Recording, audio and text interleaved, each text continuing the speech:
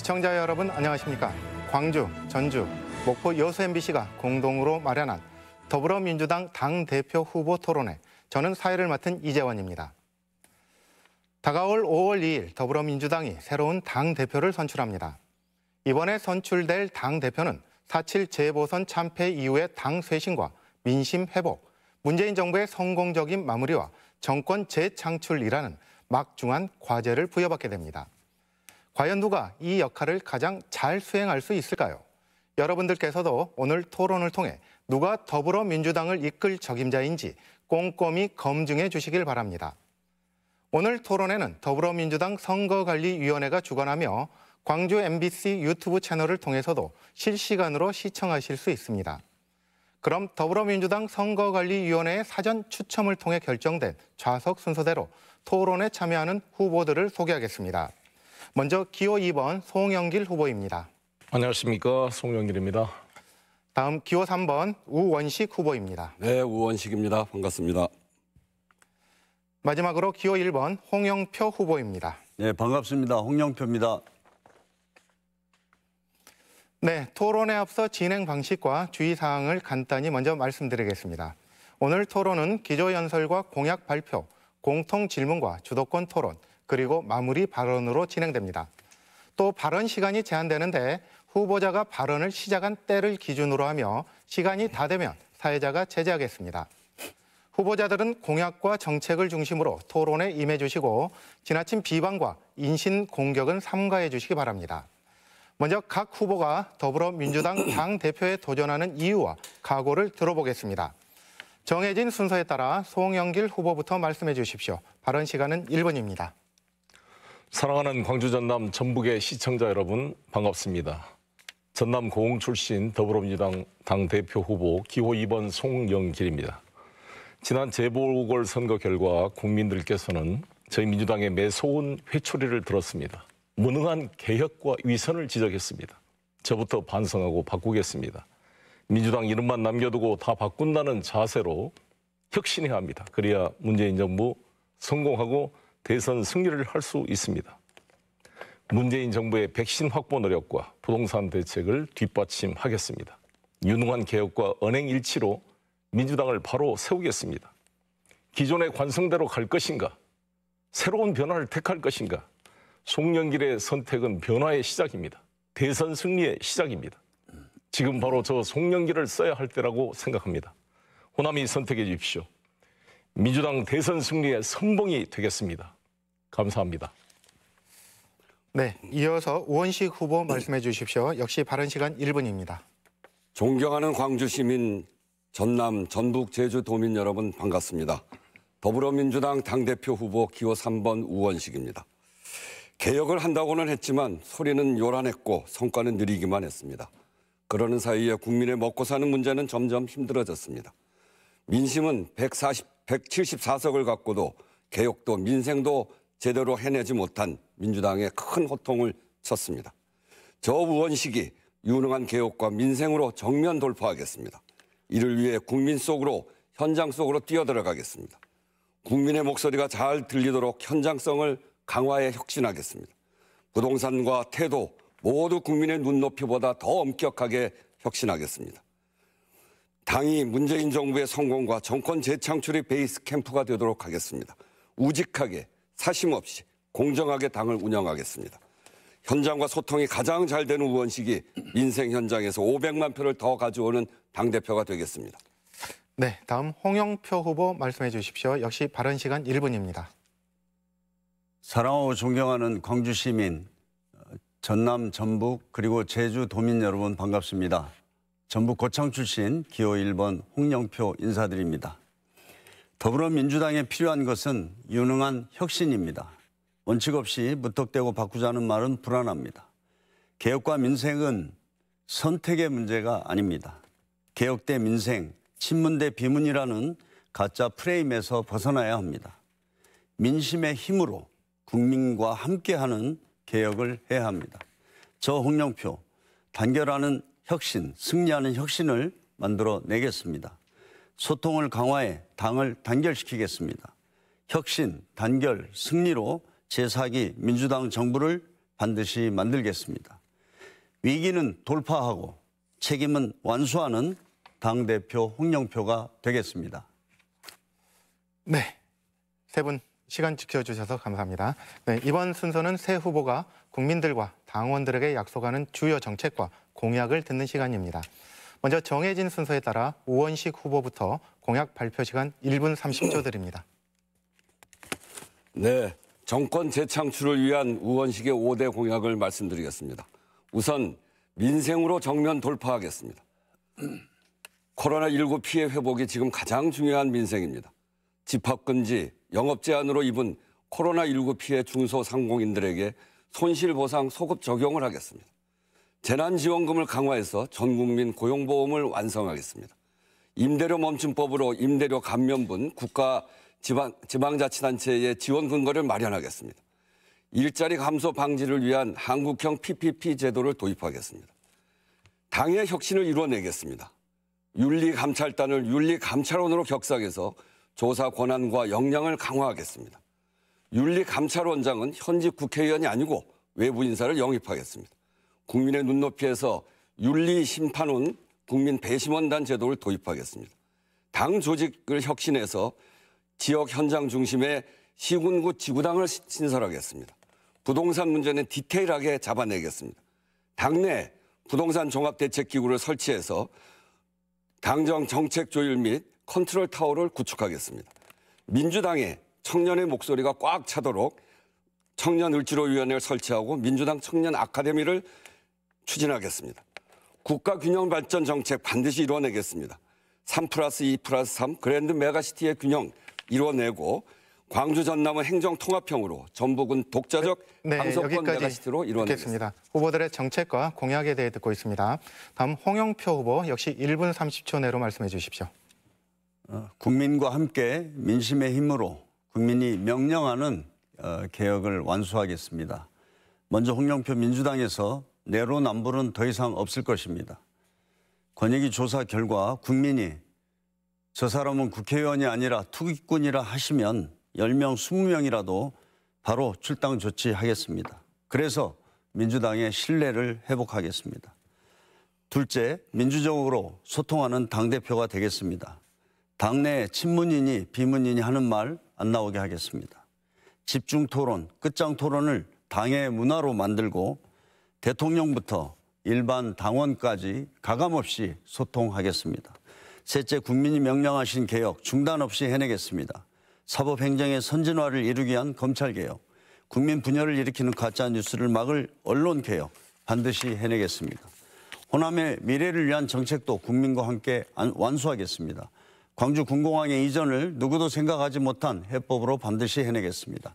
광주 상생형 일자리 상징인 GGM 1호차가 곧 나옵니다. 이후 친환경 자동차 메카로 발전할 수 있도록 계속 지원하겠습니다.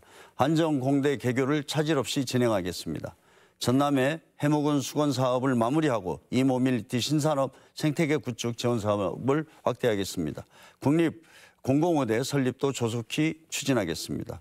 전북 혁신도시를 새로운 금융도시로 육성할 수 있는 방안을 마련하겠습니다. 네, 여기까지 듣겠습니다. 네, 후보들의 정책과 공약 끝으로 송영길 후보 역시 1분 30초 드립니다. 국정 다섯 가지 과제를 저는 뒷받침하겠습니다. 첫 번째는 백신을 확보하는 겁니다. 지금 정부가 노력하고 있습니다. 저 송영길의 국제적인 네트워크를 총활용해서 백신 확보를 뒷받침하겠습니다. 두 번째는 부동산 대책하겠습니다. 문재인 정부가 80만 원 이상 공급 대책을 발표했습니다. 이사 대책이 확실하게 성공할 수 있도록 송영길의 누구나 집 프로젝트를 보완해서 뒷받침해 나가겠습니다. 문재인 대통령께서 제시하신 2050 탄소 중립화를 뒷받침하기 위한 에너지 정책을 확실히 만들어 가겠습니다. 그리고 어, 반도체 지금 전쟁입니다. 미중 간의 갈등 속에 대한민국 반도체 산업의 생존 방안을 찾겠습니다. 우리 호남의 한전 공매를 중심으로 한 전남북 이 12기가와트의 해상 풍력과 에너지 300, RE 300 단지 구상을 구체화시키겠습니다. 광주는 인공지능 복합 단지로 지정을 받았습니다. 뒷받침하겠습니다. 2024년까지 3,939억이 투입됩니다. 확실하게 뒷받침해 가겠습니다. 그리고 전북의 탄소 산업을 뒷받침해 가겠습니다. 830조가 넘는 국민연금 관련된 제3금융 중심 도시도 뒷받침해 나가겠습니다. 호남이 민주주의 성지만이 아니라 새로운 첨단 산업의 메카로 발전할 수 있도록 뒷받침해 나가겠습니다. 감사합니다. 네, 이제 본격적인 토론에 들어가겠습니다. 먼저 새 후보에게 공통 질문 드립니다. 지난 4.7 재보궐선거에서 더불어민주당이 참패하면서 당 쇄신에 대한 요구와 정권 재창출에 대한 위기감이 커지고 있습니다. 각 후보들께서는 4.7 재보선 참패 원인이 무엇이라고 생각하는지 밝혀주시고 당 혁신과 정권 재창출을 위해 당 대표로서 무엇을 할 것인지 말씀해 주십시오. 정해진 순서에 따라 먼저 홍영표 후보부터 발언 시간 1분 30초 드립니다. 네. 어, 사실 재보궐 선거로 많은 우리 호남의 지지자들도 실망하고 계십니다. 부동산 내로남불 LH 사태, 어, 재보선 패인으로 여러 가지가 거론되지만 핵심은 국민이 명령한 개혁, 개혁을 국민과 함께 하지 못했기 때문입니다. 지금 변화와 혁신을 거부하는 사람은 없습니다. 하지만 어떤 변화냐, 어떤 혁신이냐를 논쟁해야 합니다. 누구는 다 바꾸자고 합니다. 불안과 분열로 가자고 합니다. 누구는 민생으로 돌아가자고 합니다. 문재인 정부는 민생을 외면한 정부였습니까? 이런 변화와 혁신으로는 다음 대선 기대하기 어렵습니다. 먼저 저는 지킬 것은 지키고 고칠 것을 고치는 분열과 패배가 아니라 단결과 승리의 혁신을 해내겠습니다. 제가 용접공 출신입니다. 서로 다른 재료를 녹여 붙이는데 선수입니다. 대통령부터 당원까지 가감 없는 소통으로 용광로 정당을 만들겠습니다. 온종주의와 결별을 하겠습니다. 국민이 투기꾼인지다 하시는 분들은 즉, 즉시 출당시키겠습니다. 당의 역할 강화로 승리하는 혁신을 이루겠습니다. 당을 중심으로 대선을 치르겠습니다. 경선 단계에서부터 이른바 캠프 정치의 싹을 자르고 국정 운영도 당이 주도하겠습니다. 기재부의 시간을 끝내고 정당의 네, 시간을 여기까지 만들겠습니다. 듣도록 하겠습니다. 더불어민주당 혁신 방안에 대해 듣고 있습니다. 이어서 송영길 후보 1분 30초 내로 답변해 주십시오. 무능한 개혁과 내로남불을 해결하는 길- 길은 유능한 개혁, 개혁과 언행 일치입니다. 특히 우리 민주당의 당내 민주주의를 활성화하겠습니다. 말을 할 수 있도록 언론을 터줘야 됩니다. 20, 30대가 말을 할 수 있도록 우리 민주당이 기댈 수 있도록 그들의 아픔과 공감하고 경청하는 민주당이 되겠습니다. 국민의 목소리를 무시하고 가르치려 하고 훈계하려는 민주당이 아니라 국민의 목소리를 겸허하게 수렴하겠습니다. 174명의 국회의원들이 현장에 가서 민생을 제대로 연구해서 내각을 이끌어 가도록 하겠습니다. 문재인 대통령 개혁 의지가 관료주의에 의해서 굴절되거나 지연되거나 실행이 안 되는 것을 막아내고 확실하게 집행될 수 있도록 당이 견인하겠습니다. 저는 인천시장으로서 부도 위기에 인천을 부해낸 경험을 가지고 있습니다. 정부를 일하게 만들 수 있는 노하우를 가지고 있습니다. 174명의 민주당 국회의원이 뛰도록 하겠습니다. 그래서 당장 이 현안 문제인 백신 확보와 부동산 문제부터 유능하게 해 가겠습니다. 언론 개혁과 사법 개혁도 국민과 함께 공감대를 만들어가면서 사실없이 추진해 나가겠습니다. 송경길이 하는 개혁은 유능한 개혁, 성과를 내는 개혁, 소리만 요란하고 실속 없는 개혁이 아니라 분명히 손에 잡힌 성과를 만들어내서 어, 추진해 가겠습니다. 확실하게 뒷받침해 가겠다는 말씀을 드리겠습니다. 네, 더불어민주당 혁신 방안 이어서 우원식 후보 1분 30초 내로 답변해 주십시오. 네. 국민의 삶이 매우 어렵습니다. 불공정, 불평등. 그래서 양극화가 심화된데 거기다 코로나19로 해서 민생이 도탄에 빠졌습니다. 부동산 급등을 일으킨 부동산 정책의 실패, 그리고 LH 사태까지 이렇게 해서 국민의 삶이 정말 도탄에 빠져 있는데 우리 민주당은 국민의 목소리 그 절규에 귀를 닫고 개혁을 한다고 하면서 그것도 제대로 해내지 못했습니다. 국민이 우리 민주당의 무능을 비판했습니다. 이 문제를 극복해 가야 됩니다. 첫째는 민생으로 혁신하겠습니다. 국민이 아픈 곳 그것을 중심으로 해서 민주당의 정체성을 강화해 가겠습니다.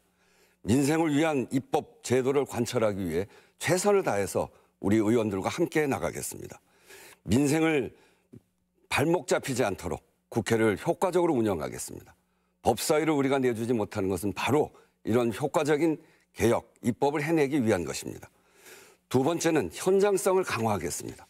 민주당에는 골목마다 4, 400만 명의 당원이 있습니다. 그리고 많은 현장에 현장 단체들이 있습니다. 이들과 함께 현장의 목소리를 우리 당이 들어서 현장의 목소리를 그대로 반영하는 민주당으로 혁신해 내겠습니다. 세 번째는 국민의 눈높이보다 더 엄격하게 혁신하겠습니다. 부동산으로 해서 발생되어지는 문제 또 그 이외의 도덕적인 문제들에 대해서는 당이 누구보다 엄격하게 처리해 나가겠다. 국민의 눈높이에 네, 맞추겠다. 여기까지 듣도록 하겠습니다. 이번 순서는 주도권 토론입니다. 새 후보가 차례로 7분씩 주도권을 갖고 자유롭게 질문하고 답변을 듣는 시간입니다. 앞서 발표한 후보들의 정책과 공약을 중심으로 토론해 주시기 바랍니다. 단 질문과 답변 시간이 1분 30초 이상 길지 않도록 진행해 주시고 특정 후보에게만 계속해서 질문할 수 없습니다. 두 명 모두에게 질문해 주시기 바랍니다. 또 상대 후보에 대한 인신 공격성 발언이나 비방에 대해서는 사회자가 제재하겠습니다. 먼저 송영길 후보에게 주도권 드리겠습니다. 시간은 7분입니다. 우리 문재인 정부의 가장 큰 그 강점은 남북 관계 개선, 한반도 평화 번영에 대한 비전의 제시였습니다. 그래서 우리 문재인 정부는 정말 노력을 해서 북미 정상회담도 중계를 했고 아시다시피 이 판문점 선언, 평양 선언까지 끌어내서 남북 관계의 발전에 대한 새로운 희망에 들뜨게 했습니다. 특히 2018년 6.12 싱가포르 정상회담을 이끌어낸 것은 대단한 성과였습니다. 아, 그래서 그러한 그 냉전적 지역주의, 냉전주의가 완화되면서 지난 2018년 지방선거에서 우리 민주당은 바로 싱가포르 회담 하루 전날 선거를 치름으로써 대승을 이루었습니다. 그런데 지금은 남북 관계가 최악이 돼 있어서 이 점에 대해서 홍영표 후보님한테 먼저 질의를 드리겠습니다. 그 우리가 이렇게 남북 관계가 악화돼서 김여정 씨가 우리 대통령님을 비하하고 비아냥거리고 이런 상황에서 또 보수 야당과 언론은 북한에 끌려다니면서 좋은 소리도 못 듣는다 이런 비판을 쏟아내고 있습니다. 이런 상황에서 우리가 대선을 치르기가 참 어려운 국면인데 대표가 되신다면 이 남북 관계에 대한 어떤 돌파의 방안이 계신지 한번 묻고 싶습니다. 네, 어, 사실 전쟁의 위기를 어, 대화의 국면, 평화의 국면으로 바꾼 것은 문재인 정부의 가장 큰 성과입니다. 어, 그것을 어, 우리는 자부심으로 평가해야 된다고 봅니다. 어, 지금 저는 남북 관계의 어떤 여러 국제 환경이 많이 바뀌었다고 생각합니다. 그 중에서도 어, 미국의 바이든 대통령이 다시 취임을 했습니다. 어, 저는 바이든 대통령이 트럼프 대통령과 다르게 에, 비핵화에 대한 실질적인 방안에 있어서 어, 우리 정부와 어, 상당히 접근해 있다고 들었습니다. 그래서 어, 저는 어, 북미 간에 에, 어떤 어, 노력이 있기 전에 어, 한미 간에 동일한 어떤 방안을 갖는 것이 가장 중요하다 이렇게 생각하고 어, 그런 데서 어, 또 미중 간의 관계가 어렵긴 하지만 우리가 어, 지속적인 노력을 계속해 나가야 된다 이렇게 생각합니다. 네, 홍영표 의원님이 말씀하는 것에 저도 동의를 합니다. 한미 관계가 중요한데 그래서 제가 아, 작년 11월에 미국을 방문해서 브래드 셔먼 미 연방 하원 외교위원회 간사님과 아, 지금 뭐 위- 외교위원장도 다 만나보고 또 커트 캠벨 비롯해서 스티브 비건을 만나 이 바이든 정부의 새로운 대북 정책에 대한 방향을 이야기했습니다. 상당히 만만치 않은 상황인데 이번 5월 저는 문재인 대통령께서 미국을 방문해서 바이든과 정상회담을 하게 될 텐데 이의 성공을 잘 뒷받침해서 이 한미 관계에서 이이 뭔가 남북 관계를 풀 수 있는 어떤 방안을 찾아내는 게 중요하다고 생각이 듭니다. 에, 우리 같은 질문을 우리 에, 우원식 의원님께도 질의드리겠습니다. 네, 역시 남북 관계의 본질 중에 하나가 어, 북한과 미국과의 관계이기 때문에 지난번에 트럼프 때도 어, 거기에서 문제가 생겨서 어, 어, 지금의 이런 상황이 벌어진 것이죠. 그래서 어, 홍영표 후보께서 말씀하셨듯이 트럼프와 바이든은 상당히 다르고 또 이렇게 좋은 사실은 굉장히 좋은 기회라고 생각합니다. 한국의 민주당과 미국의 민주당 이렇게 어, 함께 어, 서로 소통할 수 있는 구조를 우리가 가진 적이 별로 없기 때문에 미국의 새로운 정부에 대해서 어, 한반도의 평화와 비핵- 비핵화 문제를 함께 풀어가는 방안들에 대해서 우리가 충분히 논의하고 또 협의할 수 있는 그런 조건에 있다고 생각합니다. 그렇지만 우리가 역시 얼마큼 노력하느냐라고 하는 점이 매우 중요하기 때문에 저는 우리 송영길 후보께서 지난번에 애를 많이 쓰고 또 미국에도 다녀오셨습니다만 그렇게 한 번의 노력이 아니라 어, 정부와 함께 우리 어, 집권 여당인 더불어민주당이 미국의 어, 민주당의 국회의원들과 또 정부는 정부대로 다각적인 통로를 가지고 어, 지금보다는 훨씬 더 밀도 있고 또 힘을 많이 들여서 저는 때그 제가 당 대표가. 되면 마무리. 당 대표가 되면 국회의원단을 미국으로 파견하는 문제까지 좀 검토해볼 필요가 있다고 생각합니다. 네, 감사합니다. 뭐 좋은 말씀이고 저 역시 당 대표가 되면 우리 한미 정상회담의 성공을 뒷받침하고 그 이후에 미국을 방문할 계획을 가지고 있습니다. 얼마 전에 메넨데스 미 상원 외교위원장과 화상 통화를 통해서 노바백스 백신을 SK 바이오가 지금 위탁 생산을 하고 있는데 그 핵심 물질인 필터와 아, 친환경 플라스틱 백이 이제 트럼프 행정명령으로 수입이 통제돼 있습니다. 이거를 푸는데 저도 정부와 함께 도움을 줬다는 말씀을 드리겠습니다. 그 우원식 후보님께 질의하겠는데요.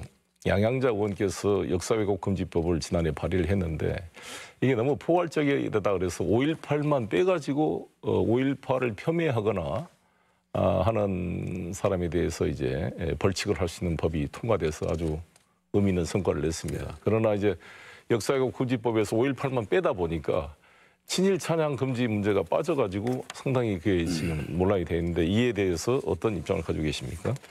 어, 저는 이제 이, 이 친일 문제에 대해서는 뭐 그 저희 집안에서부터 저희 외조부가 독립운동을 하셨고 특히 의열단 사건으로 해서 옥고까지 치르신 분이기 때문에 민족의 정통성을 세우는 일은 매우 중요한 일이라고 생각합니다. 어, 이 우리 사회에 있어서 친일 문제를 제대로 걷어내지 못함으로 해서 오히려 어, 한일 관계가 왜곡되기도 하고 문제가 생기기도 하거든요. 그런 점에서 지금 송영길 후보께서 이야기하시는 그런 어, 친일 문제에 있어서 근본적인 해결을 말, 마련해가는 그런 법안들의 통과는 반드시 필요하다고 생각합니다. 역사 왜곡 전체를 포괄적으로 금지하게 되면은 역사에 대한 자유로운 해석 접근이 제한될 수 있다는 이제 또 학문의 자유 문제가 발생할 수가 있습니다. 그래서 저는 양양자 의원님이 제시한 역사 왜곡 방지법은 너무 좀 포괄적인 논란이 있고 야당의 반발이 커서 5.18만 띄어가지고 통과가 된 것은 불가피했다 이렇게 생각이 됩니다. 그 중에 하나 빠진 게 이제 친일 문제인데 이게 홀로코스트 부정법이라는 독일의 사례가 있고 또 hate speech 뭐 관련 법도 있고 그래서 그거를 보완해서 그 부분만 따로 좀 더 엄격하게 학문의 역사 해석의 자유를 제한하지 않는 범위에서 통과시켜야 된다 이렇게 저는 생각합니다. 감사합니다. 네, 정책과 공약을 중심으로 하는 후보자 주도권 토론 이어가고 있습니다. 다음 우원식 후보에게 주도권 시간 7분 드리겠습니다. 네, 송영길 후보께 묻겠습니다. 이 집권여당 당대표는 말과 행동의 무게가 남다르죠. 그래서 검증이 잘 안 된 자기 브랜드나 또 설익은 정책을 이야기를 하는 것은 자칫 국가적 피해나 또는 어, 정부 정책의 신뢰를 떨어뜨리는 큰 문제가 될 수도 있다. 이제 그런 생각을 하는데 거기에 동의하시죠? 네, 뭐 우치권 여당의 대표는 정부와 모든 걸 협의해서 잘 처리해 가야 됩니다. 그 아까도 말씀을 하셨는데 지금 부동산 문제가 매우 중요하기 때문에 그것과 관련해서 한 가지 묻겠습니다. 누구나 집 프로젝트를 이야기하시는데 누구나 집 프로젝트는 그러니까 어, 집값의 10%만 출자하면 80%는 어, 보증기관이 융자하고 10%는 그 사업, 사업 시행자가 부담해서 집을 가질 수 있는 기회 이걸 마련하는 것이 핵심 아니겠습니까? 그렇지는 않습니다. 구석이 좀 다른 복잡합니다. 어, 근데 이제 이미 이 사업이 처음 진행되는 것이 아니고 이미 그 우리 송 후보께서 10년 전, 아, 8년 전 네. 인천시장 할 때부터 문제를 제기해서 이렇게 그 많은 사업들이 진행이 되고 있는 것 같아요. 그 네. 비슷한 사업도 진행이 되고. 근데 여기에 문제는 뭐냐면 그 임대사업법에 적용을 받지 않고 그러기 때문에 누구나 집을 구할 수 있는 누구나 들어갈 수 있기 때문에 입주자 자격 요건이 없고 사업자에 대한 그 어, 자격 규정도 없더라고요.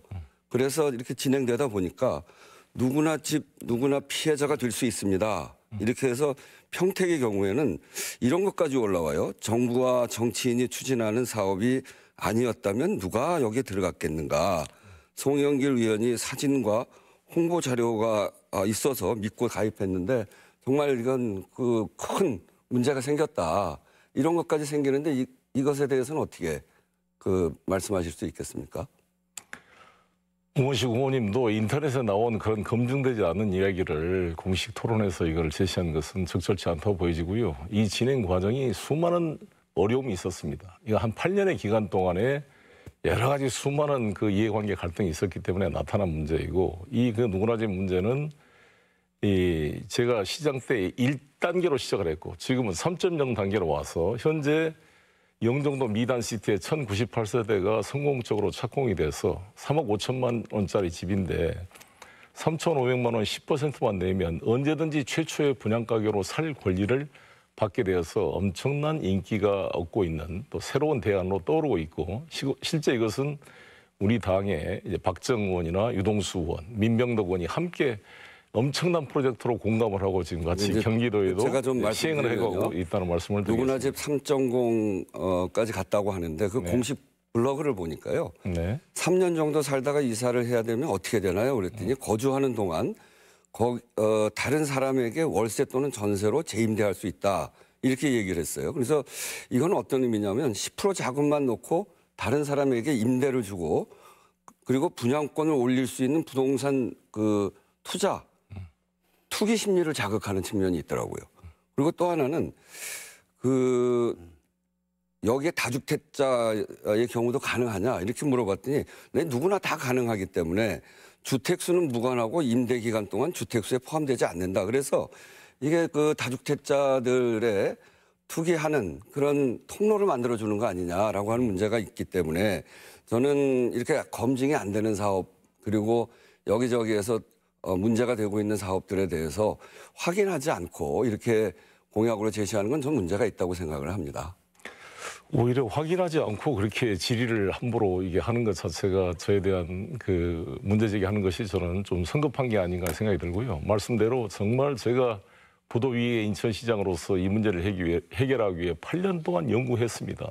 그래서 드디어 이제 보완하고 보완해서 3.0 단계로 왔고 이제 4.0, 5.0 단계로 발전해 가고 있다는 말씀을 드리고요. 실제로 이게 지금 얼마나 혁명적인 일입니까? 국가 세금을 하나도 들이지 않는, 것, 않는 것입니다. 민간 자본의 민간 PF를 통해서 어, 집값이 10%만 있으면은 집값이 오르더라도 최초의 분양 가격으로 살 권리를 가지고 있습니다. 그렇게 이제 계속 여러 가지의 그런 부동산 문제를 그러니까 해결해 갈 수 있다는 말씀을. 드립니다. 예.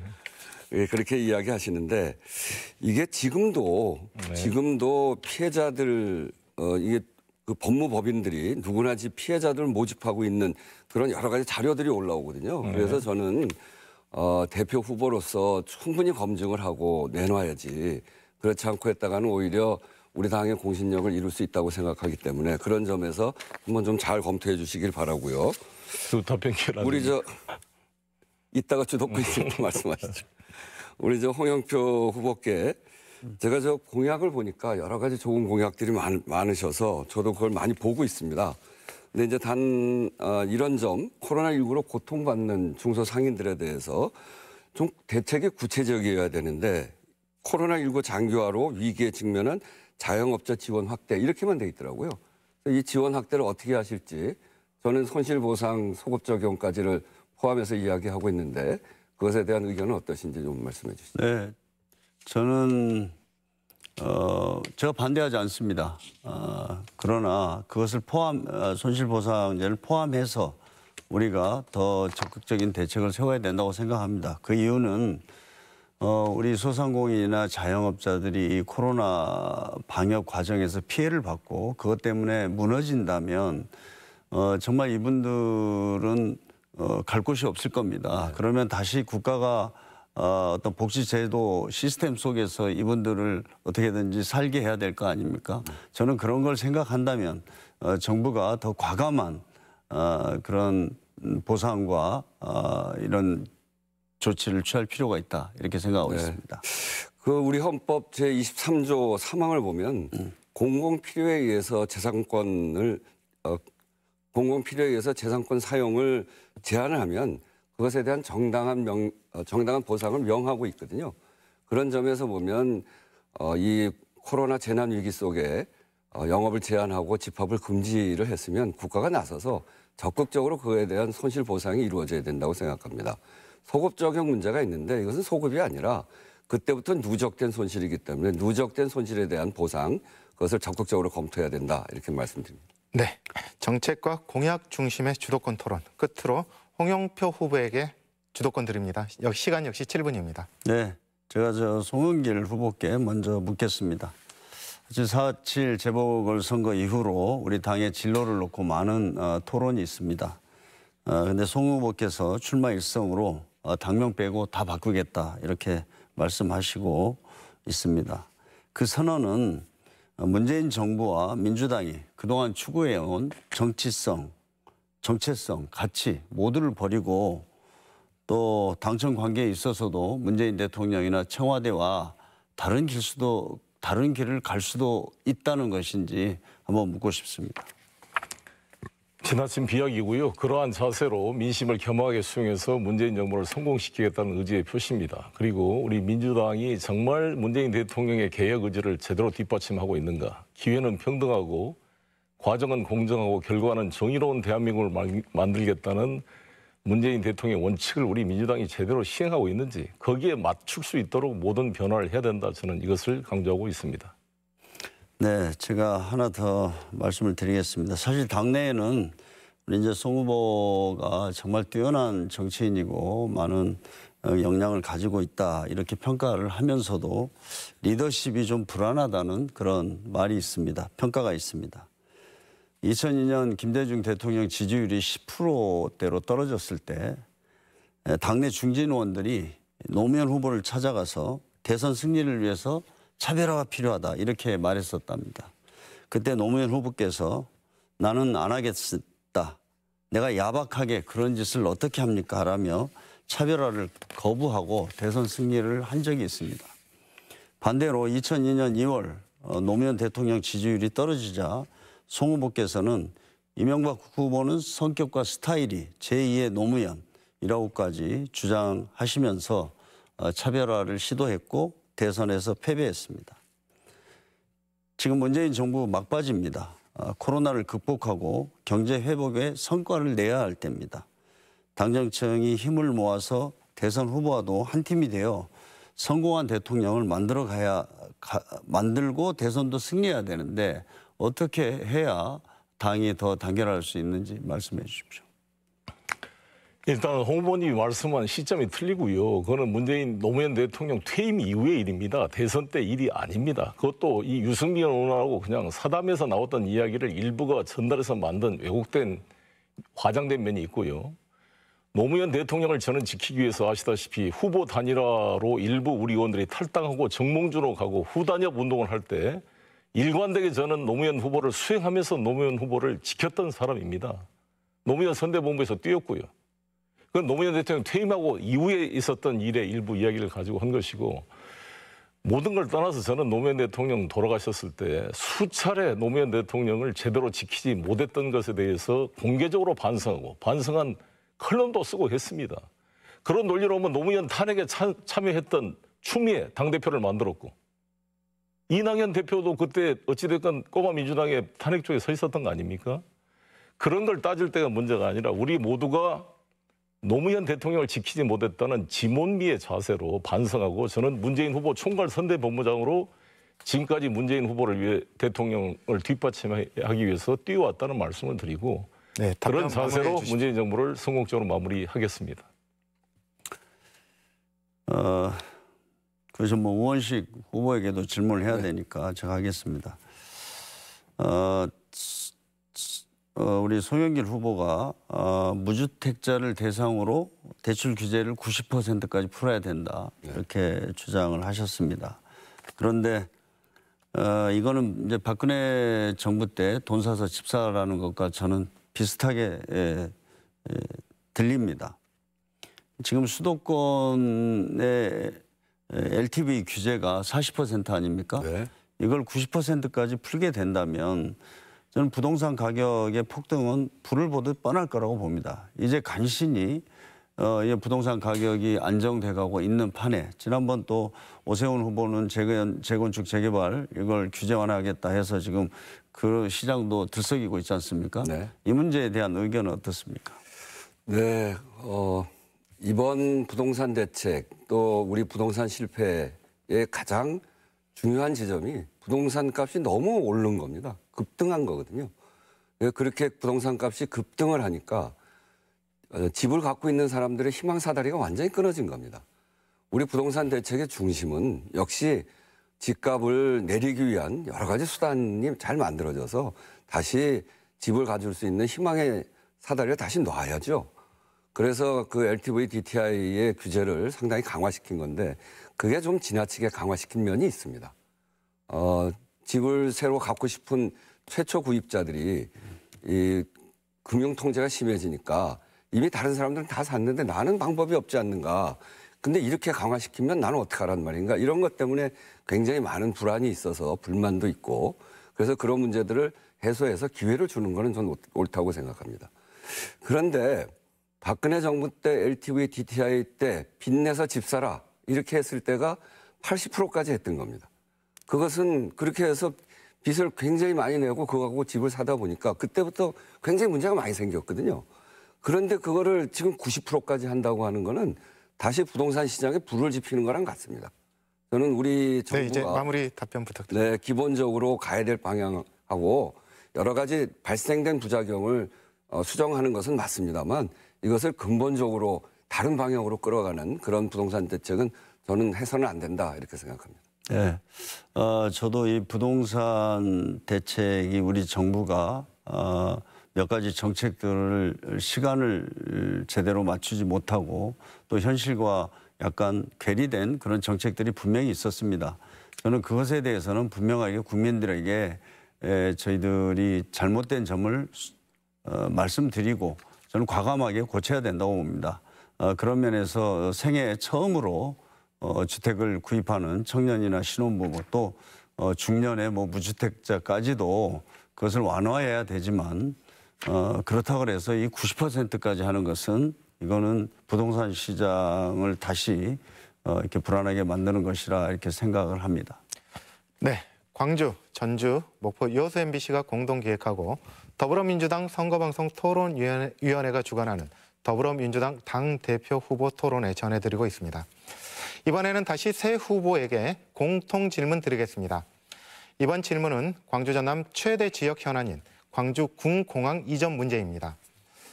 군공항 이전 사업은 2014년 광주시가 처음 제안하면서 논의가 시작됐지만 광주시와 전라남도가 서로 갈등을 극복하지 못하고 수년째 표류하고 있습니다.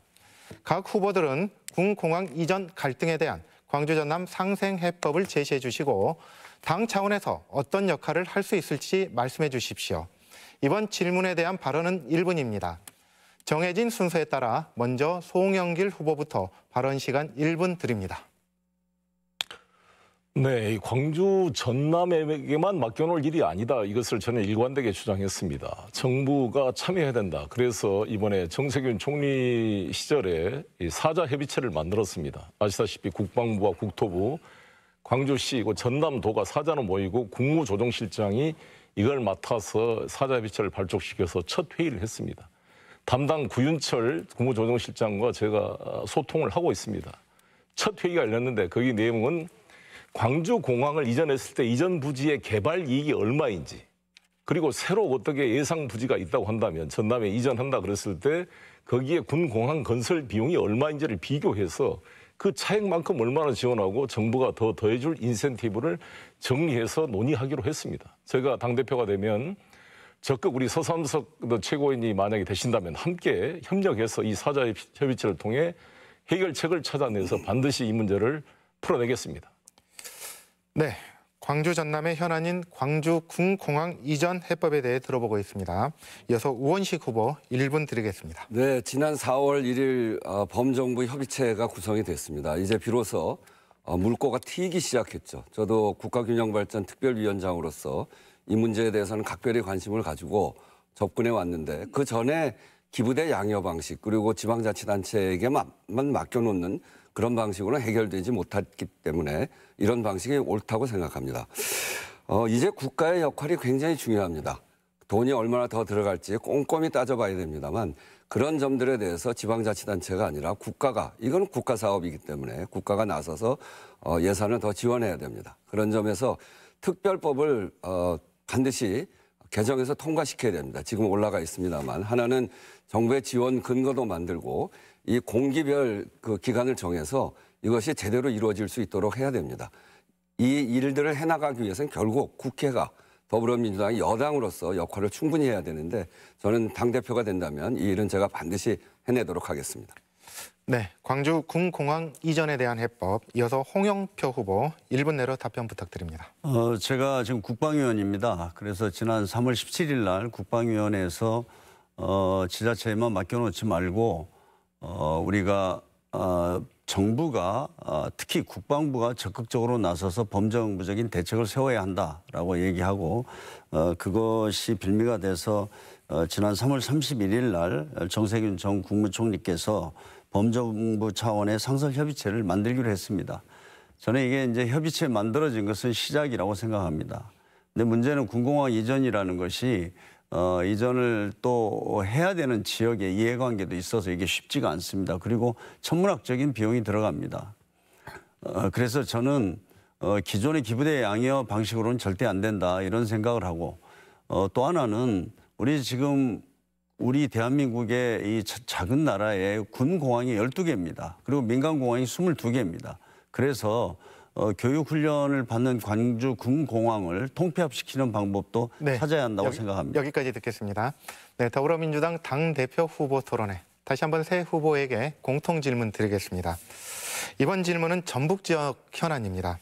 전라북도에서는 국민연금공단의 기금 800조 원을 활용해서 금융 중심지를 추진하고 있습니다. 하지만 서울과 부산의 견제로 금융 중심지 지정이 미뤄지고 있다는 지적이 있는데요. 각 후보들께서는 전라북도 금융 중심지 추진에 대한 지원 의지를 밝혀주시고 지원 방안에 대해서 말씀해 주시기 바랍니다. 이번 질문에 대한 발언 시간 역시 1분입니다. 정해진 순서에 따라 먼저 우원식 후보에게 발언 시간 1분 드리겠습니다. 네, 저는 어, 더불어민주당 균- 국가균형발전 특별위원회 위원장으로서 전북을 독자적인 강소형 어, 메가시티로 발전시켜야 된다고 어, 그 주장을 하고 있습니다.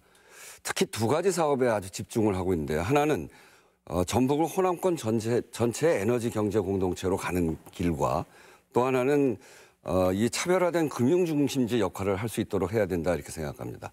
지금 부산과 서울과의 어떤 갈등을 이야기하시는데 이건 갈등할 일이 아니고 전체적으로 보면 어, 균형 균형 발전 차원에서 대한민국이 금융 중심지로 발전하는 길이라고 저는 확신하고요. 그런 점에서 이 갈등 조정에 당이 앞장서서 어, 일을 해나가겠다는 말씀드립니다. 이제 어, 전북에는 금융투자협회 그리고 운영사 30여 개사가 올해 중으로 이전하기 위한 계획을 세우고 있습니다. 이런 일들이 잘 진행될 수 있도록 하고 특히 농생명, 연기금, 사회적 경제 투자 등 특화된 금융 중심지의 역할을 할 수 있도록 어, 네. 뒤에서 뒷받침을 여기, 해나가겠습니다. 여기까지 듣도록 하겠습니다. 전라북도 금융 중심지 추진 지원 방안에 대해 들어보고 있습니다. 이어서 홍영표 후보 1분 내로 답변 부탁드립니다. 네, 그 대한민국 금융 경쟁력을 강화하고 지역 균형 발전 차원에서 꼭 추진해야 할 사업입니다. 현재 미중 갈등도 격화되고 있고 또 홍콩 내 정치가 불안해서 어, 아시아의 전통적인 금융 허브들이 흔들리고 있습니다. 어, 특히 홍콩 내 글로, 금융, 글로벌 금융 기업의 엑소더스가 어, 발생하고 있다 합니다. 그래서 우리에게 기회입니다. 어, 싱가포르나 일본 경쟁 국가보다도 우리가 좀 서두른다면 어, 좀 가능성이 있지 않나 이렇게 생각이 됩니다. 어, 그러나 어, 인프라 개선 또 실효성 있는 어, 계획들이 더 보완이 되어야 합니다. 어, 이 금융 인프라 구축은 지자체의 힘만으로는 아마 어려울 것입니다. 그래서 어, 정부 여당의 적극적인 지원이 필요하다고 보고 어, 제가 당대표가 된다면 어, 전북이 금융 중심지로 어, 경쟁력을 확보할 수 있도록 최선을 다하겠습니다. 네, 여기까지 듣겠습니다.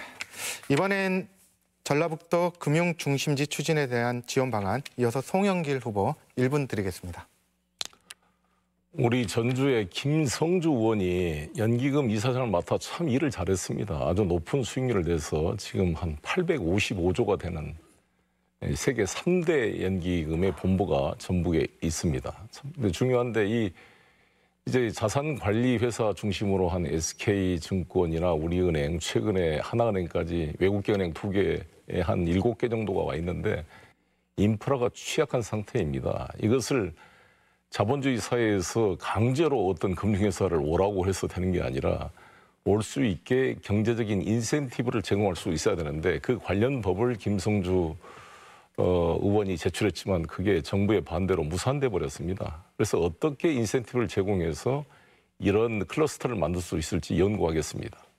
특히 이제 농업, 농생명 그 관련된 금융의 특화 문제도 제시되고 있는데 다각적으로 이러한 인센티브 방안을 추진해서 김성주 의원 등과 전주 의원 등과 상의해서 대비를 해가겠습니다. 네. 이번에는 다시 주도권 토론 시간입니다. 새 후보께서 충분히 대화를 하실 수 있도록 이번에는 8분씩 주도권 시간을 드리도록 하겠습니다. 주제에 대한 제약이 없습니다. 자유롭게 질문하시고 답변을 듣는 시간을 갖도록 하겠습니다. 앞선 주도권 시간과 마찬가지로 질문과 답변 시간은 1분 30초 이내로 해주시기를 부탁드리겠습니다. 토론 중에 인신 공격성 발언이나 비방에 대해서는 사회자가 제재하겠습니다. 먼저 우원식 후보에게 주도권 드리겠습니다. 주도권 시간 8분입니다. 네. 송영길 후보께 네. 묻겠습니다. 그 문재인 정부는 2017년 출범 이후에 신고리 5, 6호기 어, 공론화위원회를 거쳐서 더 이상 신규 원전 건설은 없다고 그렇게 밝혔습니다. 그런데 송 후보께서는 2019년 1월 11일 날 원자력계 신년 인사회 가서 신한울 3, 4호기 그 공사를 재개하는 방안을 검토해야 된다 이렇게 주장을 하셨더라고요. 문재인 정부의 어, 공약 사항이자 공론화위원회에서 국민들이 수기해서 결정한 것들을 어, 송영길 후보 혼자서 이렇게 뒤집은 꼴이 된 건데요. 지금도 그 생각에는 변함이 없으십니까? 이미 그런 쭉 말씀을 드렸던 것처럼 어, 상당히 지금 원래대로 말한 탈원전 기조를 저도 기본적으로 찬성하고 있을 뿐만 아니라 어떤 대안을 찾아보는 이야기를 하는 것입니다. 우리나라 산업 발전의 근간이 됐던 게 원전이었습니다. 그걸 단, 단순히 원전이 없앤다 없어지는 게 아니라 이후에 이것을 하나하나 탈원전으로 하기 위한 로드맵을 만들어야 된다는 그런 말씀을 드린 것이고 특히 2050년 문재인 정부의 탈탄소 정책을 뒷받침하는데 어떤 방안이 있을지 고민을 해보자는 취지였지 그걸 찬반의 문제를 이야기한 것은 아니었다 이런 말씀을 드리고 또 문재인 대통령께서 이후로 일단락이 된 것이다 이렇게 말씀을 주셨기 때문에 그 이후에 그 전제하에 여러 가지 지금 이 정세균 총리 체제하에서 SMR을 지금 연구를 시작하고 있습니다. 그러한 방안들을 아니 그러니까 지금 찾아보고 있다는 지금도- 말씀을 드리겠습니다. 지금 지금도 신한울 3, 4호기 공사를 재개하는 방안에 대해서 검토하고 계시나요? 일단락 했다는 말씀을 드렸습니다.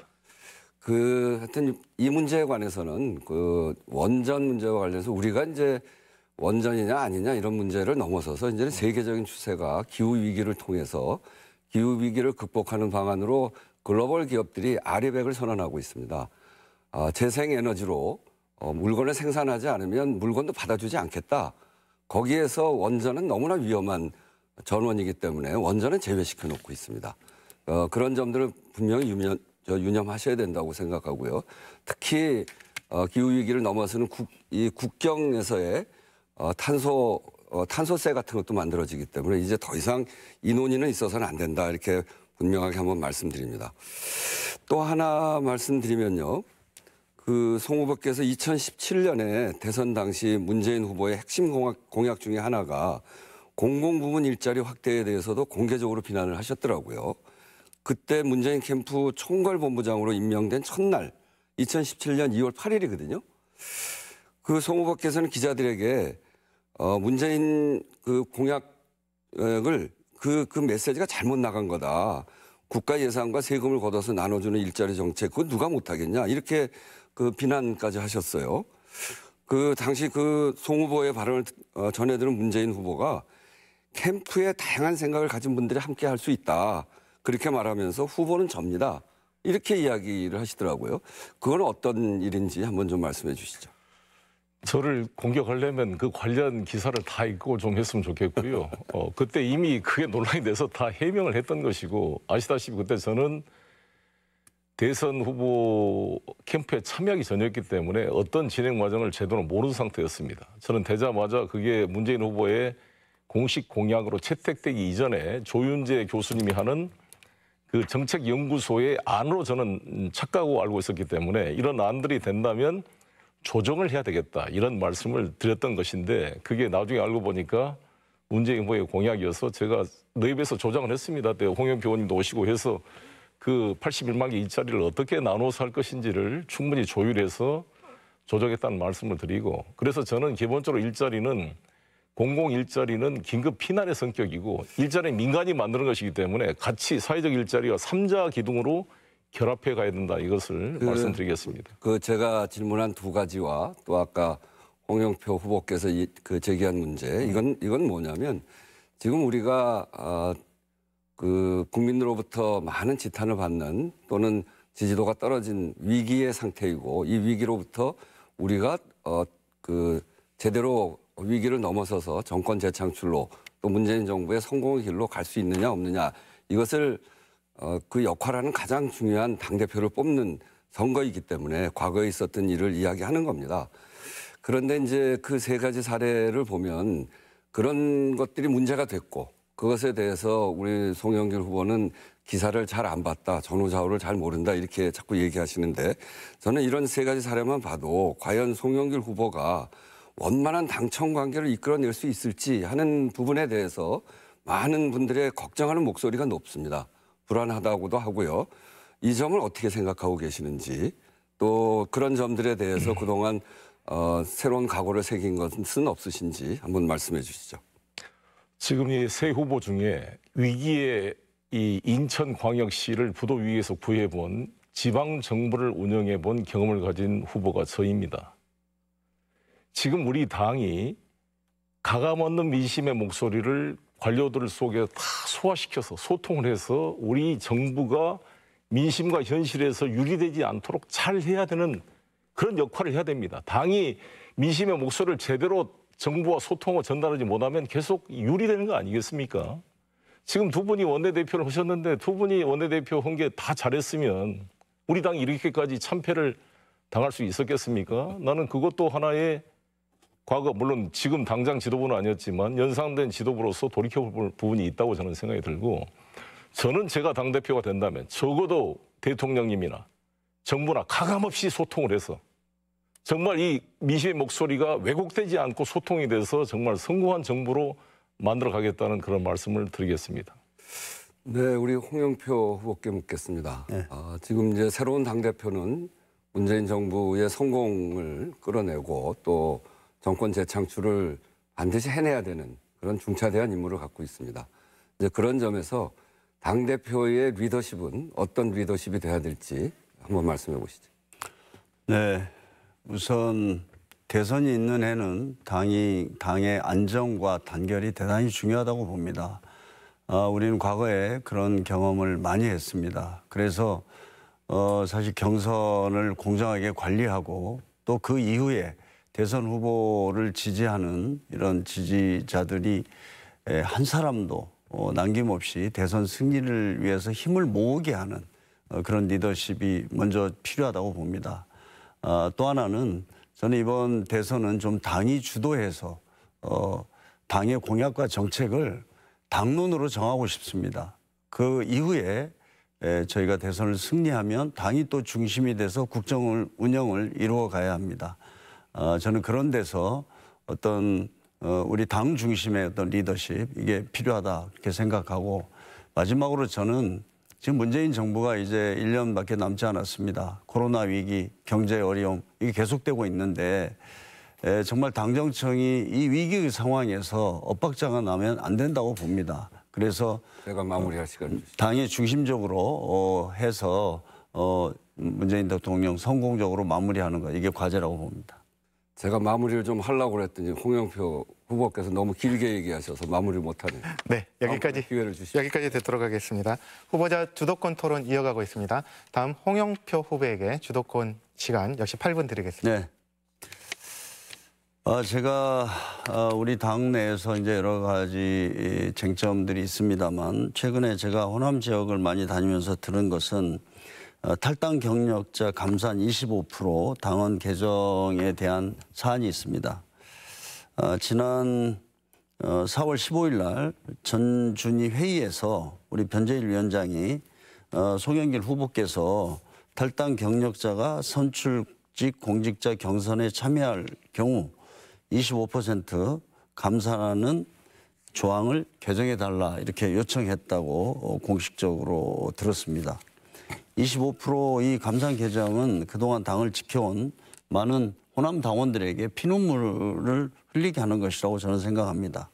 어, 당에 어려울 때도 배신하지 않고 깃발을 들고 서 있던 어, 수많은 당원들에 대해서 욕보이는 거라고 생각합니다.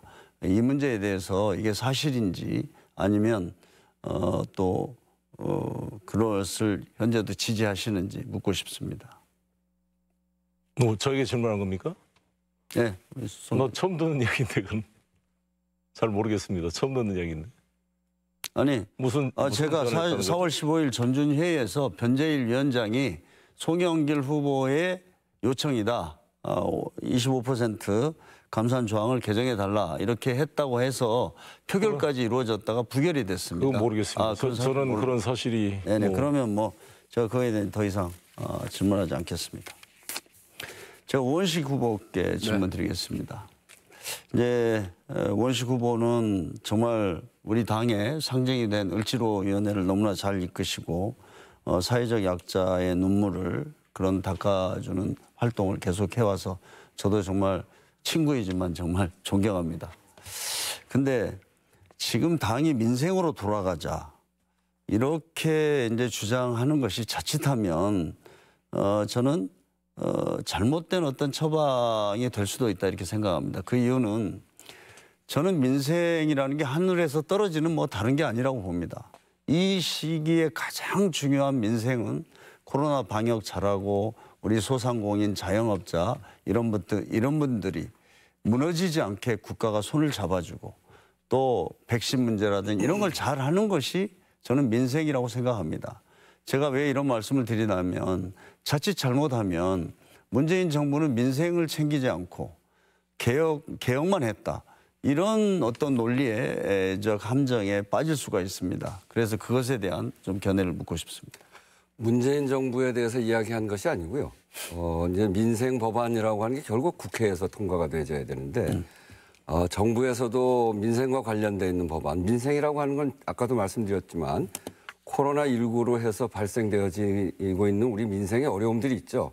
어, 손실을 많이 보고 경제 위기로까지 가면서 어려움에 처한 그 민생이 있기 때문에 거기에 관련돼서는 손실보상법도 하고 임대료 멈춤법도 하고 또 전국민 재난지원금도 하고 이런 것들을 통해서 하는데 그 그것과 함께 거기에 또 좀 근본적인 문제로 보면 어 불공정 불평등으로 해서 발생되어진 양극화 문제를 해결해 가야 됩니다. 을지로위원회를 통해서 그런 양극화와 관련돼 있어서 돼서 많은 법안들을 냈습니다. 이를테면 교섭권이 보장되지 않는 거예요. 가맹점, 대리점들이 본사의 불공정에 맞서서 교섭을 해야 되는데 교섭을 할 수가 없어요. 법적으로 보장이 안 돼 있습니다. 그래서 교섭권을 보장하기 위해서 법안을 제출하는데 국민의힘 쪽에서 그쪽에서 소위 기득권에 그 도움이 안 된다고 그 법을 끝까지 막았습니다. 또 중소기업들이 대기업의 하청 계열화되는데 지금은 정규직과 비정규직의 차이보다 중소기업과 대기업의 차이가 훨씬 벌어져 있거든요. 일자리가 중소기업의 85%가 돼 있기 때문에 이거는 정말 심각한 문제입니다. 그런데 하청 계열화돼 있는 중소기업들이 어, 자기의 원청에 대해서 불공정을 해소해달라. 하청 어, 하도급 단가를 깎는 거에 대해서 그러지 말라. 이렇게 말할 수 있어야 되는데 그렇게 하면 공정거래법상 담합이 됩니다. 담합이라는 거는 힘을 갖고 있는 시장 지배력이 있는 어, 데서 이렇게 저 국민들에 대해서 손해를 끼치는 걸 담합이라고 하는데 오히려 힘이 약한 사람들이 이야기하는 거를 담합이라고 규정하고 있는 이런 조항들 이런 조항들을 하나씩 하나씩 고쳐야 됩니다. 미국이 어, 1930년에 그 대공황이 일어날 때까지 공화당 정권이었는데 대공황 때 민주당 정권을 처음 갑니다. IMF 때 DJ가 됐듯이 그때 루즈벨트가 됐는데 루즈벨트가 돼서 한 뉴딜의 가장 핵심은 북쪽의 마- 그 노동 노동자들 이- 공장 새로운 농, 네, 해주십시오. 공장 지대가 굉장히 많았는데 거기에 노동자들한테 노동조합법을 만들어주고 최저임금제를 어, 만들어주고 사회복지제도를 만들어주면서 그 사람들이 민주당 지지로 다 돌아서서 30년 어, 민주당 집권이 이루어집니다. 결국 국민의 먹고 사는 문제, 국민의 삶을 변화시키는 개혁이 개혁의 본질이고 그렇게 해야 국민들이 안심하고 어, 우리 정부를 믿을 수 있다고 생각하는데 그 일은 우리 국회가 나서서 해야 되는데 국회가 제대로 못했다는 겁니다. 아, 뭐 저도 뭐 동의합니다. 그러나 저는 문재인 정부는 민생을 위해서 어느 정부보다도 많은 노력을 해왔다고 생각합니다. 우리가 양극화 문제가 정말 국가의 가장 중요한 과제입니다. 그래서 우리 집권 초기에 최저임금을 대폭 올렸습니다. 그때 지지율이 20%가 떨어졌습니다. 그러나 이제 좀 안정이 됐지 않습니까? 저는 그 이후로 또 어, 그래서 우리가 이제 소득주도 성장 이런 걸 하는데 에, 사실 기득권 또 보수 세력들의 엄청난 어, 저항이 있었습니다. 이제 혁신 성장입니다. 혁신 성장은 일자리를 만드는 겁니다.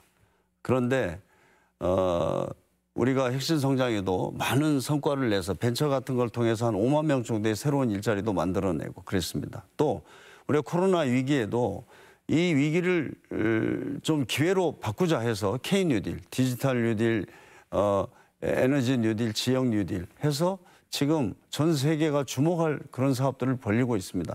저는 이런 것들이 전부 다 민생이라고 생각합니다. 이거는 민생이 아니고 지금 그래서 저는 우리 당에서 너무 그 어떤 그런 성과에 대해서 평가할 것은 평가해야 된다고 봅니다.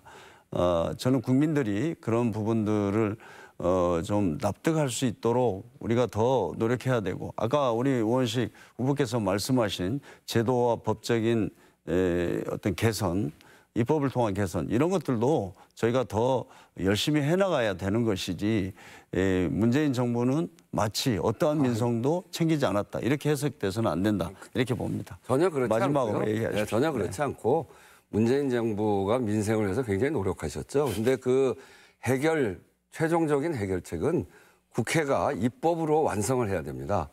그런데 우리가 여소야대 에, 시절에는 입법으로 완성할 수가 없었죠. 반대하면 못하니까. 지금 비로소 180석에 가까운 의석을 갖고 있기 때문에 지금 할 수 있는 시기입니다.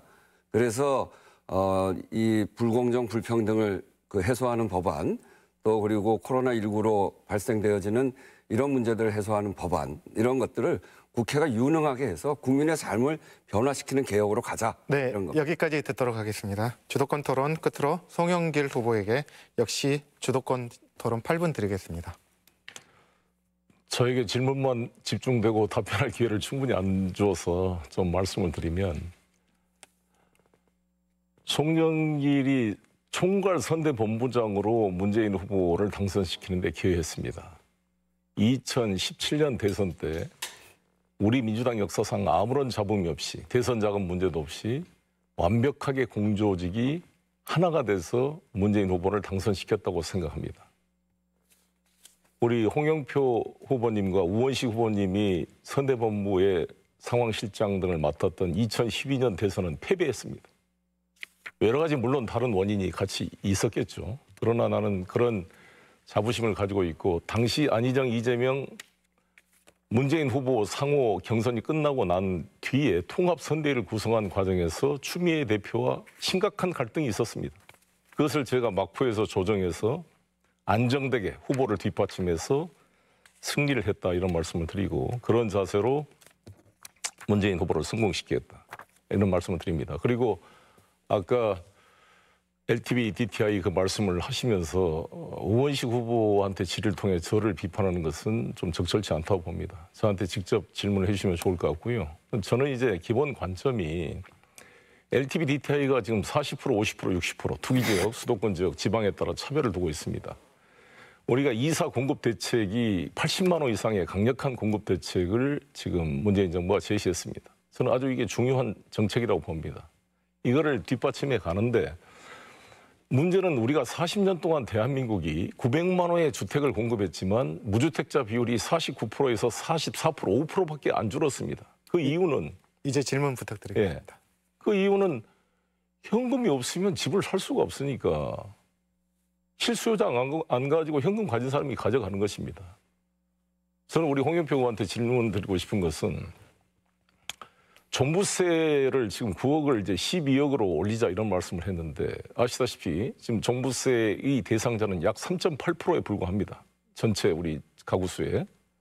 그리고 이 9억이라 그러지만 실제 시세는 공시지가 기준이 9억이니까 13억이 넘을 겁니다. 그 그것을 그렇게 풀어주는 게 맞다고 생각하시는지 한번 의견을 듣고 싶습니다. 네. 저는 부동산 시장을 안, 안정시키는 것은 두 가지 수단이라고 봅니다. 하나는 세금이고 하나는 공급입니다. 제가 이제 그 9억에서 12억으로 올리자고 주장한 바는 없습니다. 그러나 지금 사실 재보궐선거 이후로 부동산 실패에 대해서 저희가 어, 다시 한번 면밀히 살펴보고 우리가 좀 현실과 좀 맞지 않고 또 부동산 시장을 안정시키는데 도움이 되는 정책이 있다면 그것은 과감하게 고칠 수 있다. 저는 그렇게 생각합니다. 어, 저는 개인적으로 9억에서 12억으로 올리는 것은 반대합니다. 어, 대신 어, 지금 우리 그 6억에서 9억의 어떤 그 재산세 이런 구간에 대한 검토가 재, 다시 필요하지 않은가 이렇게 보고 아까 또 대출 규제라든가 몇 가지 문제들은 저는 이렇게 하루 아침에 뭐 호떡집에 불난 것처럼 막 정책을 바꿔서는 안 된다고 봅니다. 어, 그런 측면에서 어, 제가 이거는 같이 검토하고 저는 또 그 과정에서 국민들과 함께 해야 된다고 봅니다. 국민들에게 이런 아까 말씀하신 우리 전체 가구수의 7.8%밖에 종부세를 내지 않습니다. 그리고 어, 또 일가구 실소유자에 대해서는 그렇게 부담이 크지도 않습니다. 그렇기 때문에 그런 문제들을 정말 소상하게 국민들에게 설명을 드리고 어, 국민들의 에, 여론도 수렴해서 어, 좀 바꾸자 이런 취지로 제가 말씀드린 겁니다. 우리 홍영표 후보께서도 노동운동을 했지만 우리가 노동운동을 할 때 임금 인상 투쟁을 하게 되면 항상 보수 언론이 나오는 게 임금 인상이 되면 물가가 상승돼서 실질 임금은 오히려 저하된다. 임금 인상 반대하는 논리를 펴는데 그에 대해서 어떻게 생각하십니까? 네. 사실은 우리가 이제 어, 참 개혁이라는 게 그래서 어려운 것 같습니다. 어, 어, 이 우리가 이제 최저임금 문제를 아까 말씀을 드렸는데 지금 대기업과 공공부문의 임금을 100%라고 한다면 어, 이런 중, 중소기업의 비정규직을 비롯한 최저임금 선상에 에, 있는 분들은 40%입니다. 그래서 이 양극화를 해결해야 되는데 에, 좀 최저임금을 할 때 그렇게 어려웠다는 말씀을 드리고 에, 노동 임금의 인상은 경제학적으로 이거는 또 어, 양론이 있습니다. 물가 상승으로 바로 이어진다고도 하지만 어, 소득을 중대시켜서 경제를 활성화시키고 또 양극화를 해소하는 측면이 분명히 있기 때문에 우리가 그런 것을 잘 판단하면서 해나가야 된다고 봅니다. 맞습니다. 우리 홍영표 의원님 말씀한 대로 물가 상승을 이유로 임금 인상을 무조건 억제할 수가 없는 것처럼 우리 이 제가 LTV DTI 이야기를 했던 것도 공급 대책이 있습니다만 실수요자한테 금융 지원을 해주지 않으면 우리 청년들과 생애 첫 집을 구입하고자 하는 사람들이 어떻게 집을 살 수가 있겠습니까? 그러니까 현금 부자들이 줍줍이라서 다 가져갑니다. 공급이 아무리 많아도 이 무주택자 비율이 이렇게 안 줄어든 이유는 이러한 원인 때문에 그렇습니다. 그래서 문재인 대통령께서도 실수요자 대책을 세워라 이렇게 말씀하셨기 때문에 그런 취지에서 저도 뭔가 이 생애 첫, 첫 주택 구입을 하는 경우 그리고 지역을 제한해서 여러 가지로 탄력적으로 검토할 수 있다 이런 취지로 말씀을 드렸다는 걸 말씀드리고요. 우리 우원식 후보님에게 질의하겠습니다. 어, 우원식 후보는 우리가 저도 인천시장 때 친환경 급식을 하자라고 다 선택 이야기합니다. 친환경 급식을 왜 하고 싶지 않겠어요. 그런데 일단 친환경 급식을 하면 계란값부터 비쌉니다. 모든 쌀도 비싸고 그래서 비싸기 때문에 상당히 예산이 어려운 상황에서는 고민을 하게 되는 거죠. 과연 그러면 마찬가지로 이 우리가 이 재생에너지 우리가 화력 발전을 급격히 줄이고 가스도 줄이고 원전도 줄여서 빨리 재생 에너지를 빨리 늘리고 싶은 게 모두나 우리 같은 마음일진데 근데 문제는 불가피한 전기세 인상이 다가오게 될 것입니다.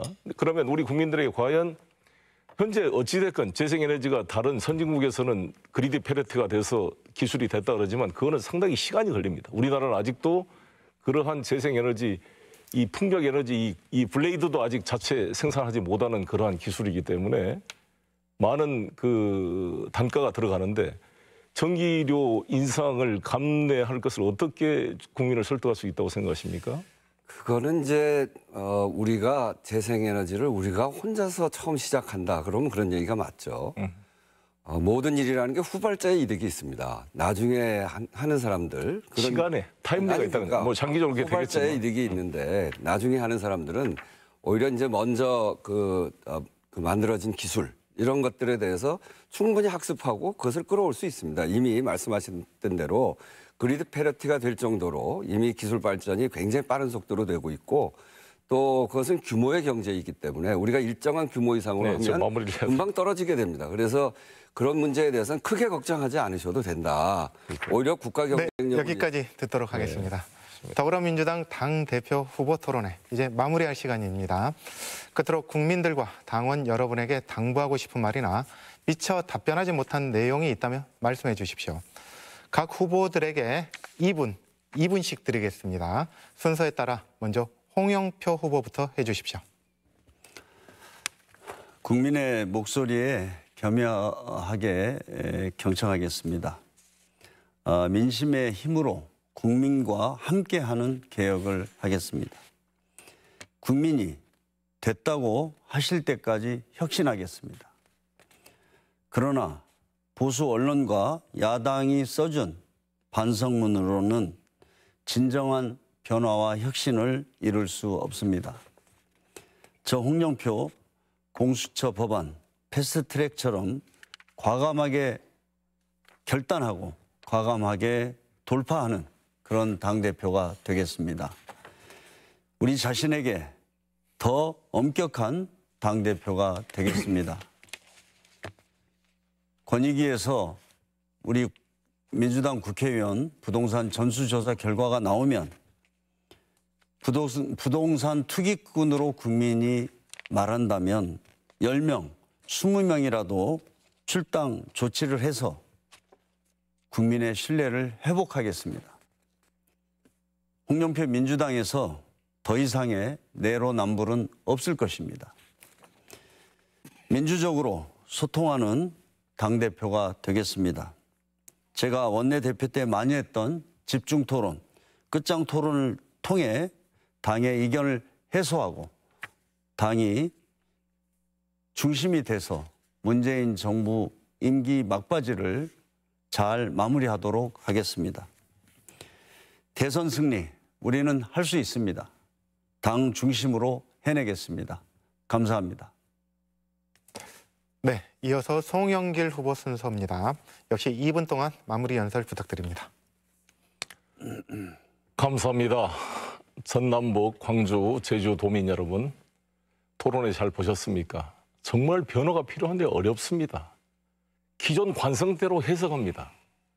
이래가지고 20% 넘는 엄격한 이 심판, 국민의 심판에 가까운 이 목소리를 수용해서 변화가 될 수가 있을까요?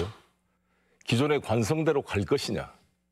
새로운 변화를 통해 민심을 수용해서 정권 창출에 성공할 것이냐? 그 출발점이 5월 2일입니다. 제가 기호 2번입니다. 5월 2일 날 전당대회가 끝나면 311일이 남았습니다. 311일 동안 과연 우리 민주당이 변화돼서 유능한 개혁으로 문재인 정부를 성공적으로 뒷받침해내고 이 공정한 대선 관- 관리를 통해 단일한 후보 원팀을 만들어낼 수 있을 것인가? 저 송영길은 어느 계보, 계파에도 속하지 않고 자랑스러운 민주당원으로 한 길을 걸어왔습니다. 각종 TV 토론, 보궐선거, 당이 필요한 곳에 선당 후사의 정신으로 열심히 뛰어왔습니다. 기회는 평등하고 과정이 공정하고 결과가 정의로운 대한민국을 만들겠다는 문재인 대통령의 취임사의 정신이 우리 민주당에 관철되고 있습니까? 지방원 공천 과정이나 자치단체 공천 과정, 각종 인사 추천, 그리고 정책 결정 과정에서 과연 이것이 제대로 지켜졌다고 자부할 수가 있겠습니까? 저 송영기를 선택하는 것은 바로 우리 민주당이 아직도 기회가 평등하고 과정이 공정하고 결과가 정의로운 정당이 될 수 있다는 희망을 보여주는 것이라고 생각합니다. 변화의 시작입니다. 변하지 않으면 침몰합니다. 저 송영길 인천광역시장으로 부도위기에 인천을 부였습니다. 문재인 총괄 선대본부장 그리고 외통위원장으로 국제적 네트워크를 가지고 백신 확보를 뒷받침하고 부동산 문제를 해결해서 문재인 정부를 성공시켜 내겠습니다. 감사합니다. 네, 끝으로 우원식 후보 순서입니다. 역시 2분 동안 마무리 연설 부탁드립니다. 존경하는 광주 시민, 전남 도민, 제주 도민 여러분, 이 위기의 민주당을 무엇으로 구할지 그 해답을 찾는 시간이 되셨길 바랍니다. 답은 정해져 있습니다. 개혁의 방향은 국민의 삶, 국민의 곁으로 가서 국민의 아픔과 함께하고 그것을 느끼고 온 힘을 다해 국민의 삶을 지켜내는 것입니다. 민생을 중심으로 개혁을 완수하겠습니다. 말이 아닌 국회라는 수단을 갖고 실천으로 현장에서 해내겠습니다. 저 우원식은 우리 사회의 을을 지키는 일이야말로 우리 정치의 길이라는 굳은 신념으로 살아왔습니다. 1981년 25세 나이로 광주 학살의 주범 전두환 정권 타도를 외치던 시절부터 김대중 총재를 지키기 위해 평민당에 뛰어든 33년의 민주당으로 살아온 내내 지켜온 신념입니다. 김대중의 중산층과 서민의 정당, 노무현의 노무현에게 배운 균형 발전, 문재인과 함께 내 삶을 바꾸는 개혁, 그것을 이끌어내겠습니다. 저 우원식이 우직하게 사심 없이 그리고 민생을 살려내겠습니다. 정권 재창출을 해내겠습니다. 문재인 정부를 성공으로 이끌어내겠습니다. 광주 그리고 전남, 전북, 제주의 결심이 민주당이 고비마다 물꼬를 터왔습니다. 민심의 조류를 다시 민주당과 함께하도록 국민 곁에 가서 다시 시작하는 민주당을 위해 저 우원식을 써주시기 바랍니다. 최선을 다해서 반드시 국민들의 삶을 지키고 문재인 정부를 지키고 정권 재창출을 해내겠습니다. 감사합니다. 네, 새 후보의 마무리 발언까지 모두 들었습니다. 오늘 열띤 토론에 임해주신 세 분 후보 모두 고맙습니다. 네, 시청자 여러분, 오늘 토론회 어떻게 보셨습니까? 집권 여당을 이끌고 내년 대선을 지휘할 더불어민주당 당 대표에 누가 가장 적합하다고 보십니까? 오늘 토론이 그 적임자를 가늠하는데 많은 도움이 됐기를 바랍니다. 이것으로 더불어민주당 당 대표 후보 토론회를 마치겠습니다. 시청해주신 여러분 감사합니다.